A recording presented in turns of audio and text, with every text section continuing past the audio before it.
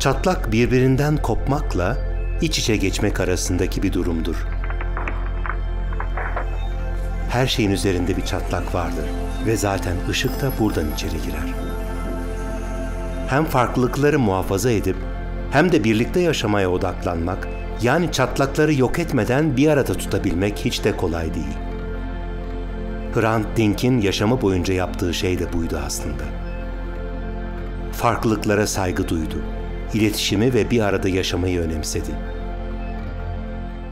Hrant Dink ödülü 2009'dan beri her yıl bu çatlakları köprüler kurarak aşmak için çaba gösteren kişilere ve kurumlara veriliyor.